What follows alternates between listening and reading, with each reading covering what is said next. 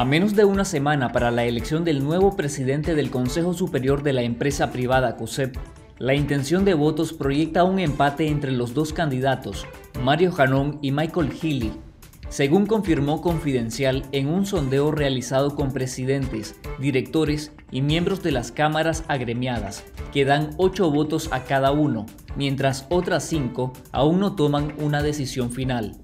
El resultado de la primera elección competitiva en los últimos 15 años en el COSEP lo definirá el voto de estas cinco cámaras denominadas bisagra y una más que usualmente decide no votar. Estas son la Asociación Nacional de Avicultores y de Productores de Alimentos ANAPA, la Asociación Nicaragüense de Distribuidores de Vehículos Automotores ANDIVA, la Cámara de Urbanizadores CADUR, la Cámara Nicaragüense de la Construcción, la directiva de la Cámara Nicaragüense de Tabacaleros y la Asociación de Bancos Privados de Nicaragua, ASOBAM, que suele no votar.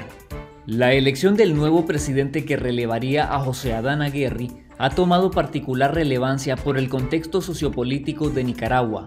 Al decantarse la elección en 2020 en la competencia entre Gili y Janón, las empresas asociadas al empresario y consejero del COSEP José Antonio Baltodano y al banquero Roberto Zamora están apoyando abiertamente la candidatura de Mario Janón, mientras que otros grandes capitales respaldan a Gili. La aerolínea comercial Avianca confirmó el regreso de sus operaciones a Nicaragua para el próximo 19 de septiembre, después de casi cinco meses sin ofrecer vuelos desde y hacia Nicaragua a causa de la pandemia del COVID-19.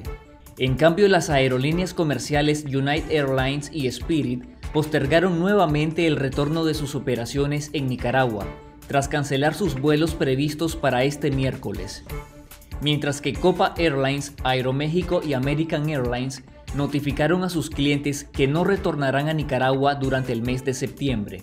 Los requisitos impuestos por el gobierno de Nicaragua para las aerolíneas ha dificultado que ambas partes lleguen a un acuerdo para el regreso de los vuelos comerciales. El preso político Justo Emilio Rodríguez, de 67 años, continúa delicado de salud en el Hospital Lenín Fonseca de Managua, a causa de un derrame cerebral y recibir atención médica tardía por parte de las autoridades del sistema penitenciario. Así lo denunció la defensora de derechos humanos, Yonarqui Martínez. Ante su estado delicado, la oficina de la Alta Comisionada de Naciones Unidas para los Derechos Humanos urgió a las autoridades garantizarle atención médica efectiva. El campesino originario de la isla de Ometepe fue detenido hace cuatro meses por participar en una protesta pacífica en contra del gobierno de Daniel Ortega. La directora de la Organización Panamericana de la Salud OPS, Carissa Etienne, advirtió que los países latinoamericanos han presentado disminución de casos positivos de COVID-19, a excepción de Nicaragua y Costa Rica, que notificaron recientemente la mayor cantidad de casos diarios. Si vamos hacia el sur de los Estados Unidos, con la excepción de Nicaragua y Costa Rica, que acaban de notificar la mayor cantidad de casos diarios de COVID, la mayor cantidad de los países de América Central han visto una disminución en los casos de COVID en la última semana. Sin embargo, el Ministerio de Salud de Nicaragua contabilizó 174 nuevos contagios y 4 muertes por COVID-19 en la última semana, estancando y reduciendo la incidencia de la pandemia en el interior del país. El director de emergencias de la OPS, el doctor Ciro Ugarte, cuestionó en conferencia de prensa la falta de transparencia en el manejo de la crisis sanitaria de parte del régimen de Daniel Ortega.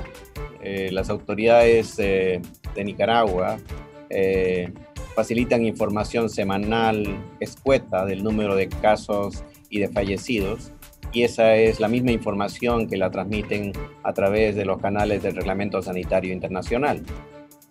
Eh, de tal manera que el número de casos y el número de fallecidos vienen por el lado oficial eh, y hay reportes, como ustedes eh, son también testigos, de reportes no oficiales que muestran cifras significativamente diferentes a las que se reportan oficialmente. En nuestro canal de YouTube te invitamos a conocer la historia del doctor Carlos Talavera López, un científico nicaragüense originario de Matagalpa que forma parte del equipo que caracterizó la composición celular del corazón en Inglaterra. Te mostramos los consejos financieros en tiempos de COVID-19 por la Asociación Nicaragüense de Instituciones de Microfinanzas, ASOMIF. El COVID-19 ha sido declarado pandemia por la Organización Mundial de la Salud. Por lo tanto, su afectación es global y está teniendo efectos devastadores en la economía en todo el mundo. Es importante entender que vamos a estar viviendo una situación que se nos escapa de las manos. Es aquí en donde la educación financiera juega un papel importante.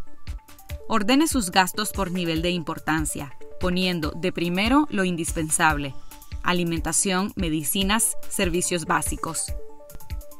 Recuerde que cada hogar y negocio es diferente, cada uno tiene necesidades diferentes.